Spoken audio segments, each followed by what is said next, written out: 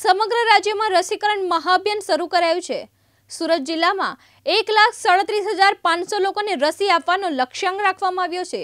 સુરત જિલ્લામાં સવારે સાતથી સાંજે સાત સુધી ખડે પગે ફરજ બજાવશે. માંગરોળ તાલુકામાં પાસઠ જેટલા રસીકરણ કેન્દ્રો ખાતે રસી મૂકવામાં આવી રહી છે. ત્યારે માંગરોળ તાલુકામાં લોકોનો સારો એવો પ્રતિસાદ મળ્યો હતો. માંગરોળ તાલુકાના ગોળબાર ગામે બસો લોકોને રસી અપાઈ હતી.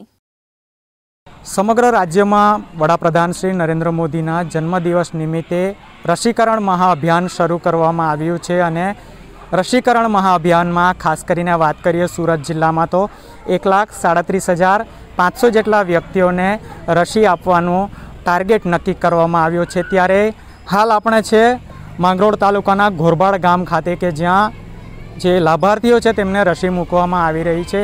ખાસ કરીને વાત કરવામાં આવે માંગરોળ તાલુકાની તો માંગરોળ તાલુકામાં સવારે સાત વાગ્યાથી આરોગ્ય કર્મીઓ જે છે સવારેથી ખડે પગે ફરજ બજાવી રહ્યા છે. ત્યારે હાલ આપણી સાથે એક લાભાર્થી છે સીધા જ વાત કરવાનો પ્રયત્ન કરીશું એમની સાથે. જી શું નામ આપનું? ચૌધરી નીલયકુમાર રાજુભાઈ. રસી લેવા આવ્યા છો કયો ડોઝ છે અત્યારે? મારો બીજો ડોઝ છે.